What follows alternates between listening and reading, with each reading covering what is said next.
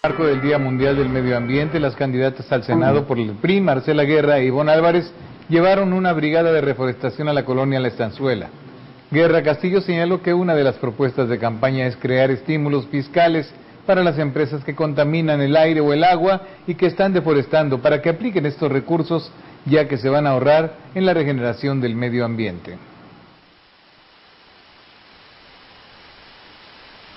Estímulos económicos a través de la reforma a la ley de ingresos. Así es, es un estímulo fiscal, es precisamente que todos los que aquellos emiten un gasto, pues puedan estimularse en los impuestos. Es decir, en lugar de pagar el impuesto al, al, erario, Hacienda, lo invierten en, lo que estoy diciendo, en mejorar la, la biodiversidad, en mejorar la calidad del aire, en mejorar la calidad de vida, en rescatar los mantos acuíferos que hoy por hoy están contaminados en el país.